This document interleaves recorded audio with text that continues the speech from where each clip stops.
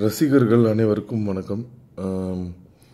ஒரு வீடியோ ஒன்று விட்டுருந்தேன். இந்த மாதிரி என்னோடய படத்துக்கு வந்து அதிகமாக டிக்கெட் விலை கொடுத்து பார்க்காதீங்க.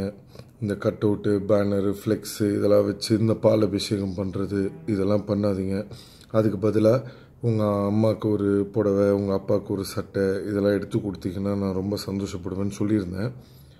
பட் என்னென்னா எனக்கெலாம் அந்த அளவுக்கு ஃபேன்ஸ் இருக்காங்களா? இவரெலாம் எதுக்கு இதை பேசுகிறாரு இவர் இதை பப்ளிசிட்டிக்காக தான் சொல்கிறாரு அவருக்கு இருக்கிறதே ஒரு ரெண்டு மூணு ஃபேன்ஸ் அப்படி தான் சொல்கிறாங்க என்னென்னா நம்ம ஒரு தப்பு செஞ்சால் நம்ம அதை திருத்திக்கணும்லங்க ஏன்னா நம்மளுக்கு ஒரு ரெண்டு மூணு ஃபேன்ஸ் தான் இருக்காங்கன்னும் போது நம்ம இதெல்லாம் பேசுனா யார் கேட்க போகிறாங்க அதுக்காக நம்ம எதுக்கு அதை பேசுகிறோம் ஸோ அதனால் நான் இப்போ உங்ககிட்ட சொல்கிறேங்க அந்த ரெண்டு மூணு பேருக்கு சொல்கிறேங்க இது என்னுடைய அன்பு கட்டளை.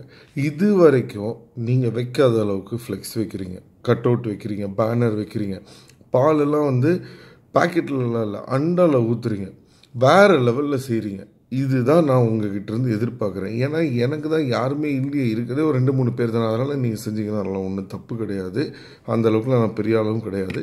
அதனால் அவங்க யாரும் கேள்வியும் கேட்க போகிறது கிடையாது. அதனால் இந்த வந்தா ராஜாவாக தான் வருவேன். படத்தோட ரிலீஸுக்கு வேறு லெவலில் செய்கிறீங்க இதை நான் உங்களுக்கு சொல்கிறேன் ஓகேவா